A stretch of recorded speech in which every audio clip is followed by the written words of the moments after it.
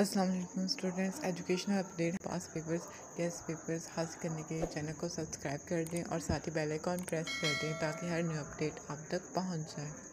Students आज की इस वीडियो में हम बीकम पार्ट टू के पास पेपर जो हैं वो देखेंगे।